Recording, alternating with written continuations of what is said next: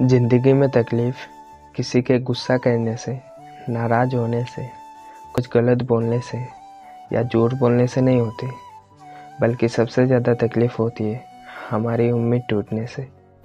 इसलिए ज़िंदगी में कभी भी किसी से उम्मीद मत रखो, कोई उम्मीद मत लगाओ, चाहे वो कोई भी हो, चाहे अपना क्यों ना हो। उम्मीद रखनी है तो अपने आप से रखो।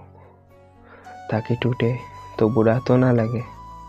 और अगर टूटता भी है तो हम उसे पूरा कर सकते। हैं